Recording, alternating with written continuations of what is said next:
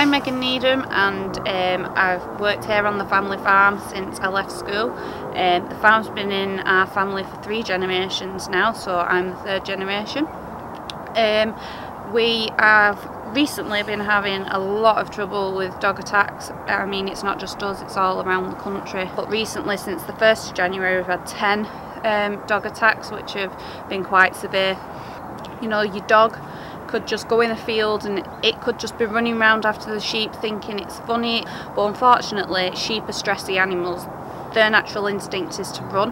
Um, they get upset and they get frightened easily so when they get that stressed um, they can just drop dead. At this time of year um, obviously they're in lamb and they kind of bought the lambs so that means that obviously we're losing uh, one or two um, possibly three. We do ask people to please put dogs on leads going through farmers fields if you can see livestock or not. Even if you think that your dog's you know under control and very obedient there's just that one-off day that you know its natural instincts might kick in.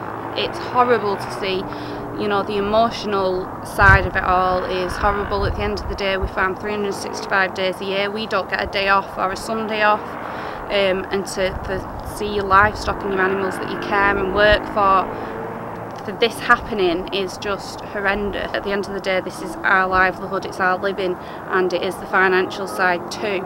It is a big financial impact. We've saved up all our savings from leaving school basically um, to be able to afford to buy our own flock. Everything we put into our sheep is our, our own financial like burden so anything that when we're having a sheep attacked, we don't have anything like to come back on. We're meant to be the future of farming, and when things like this are happening, it's just upsetting and really does make us want to just go and sell up.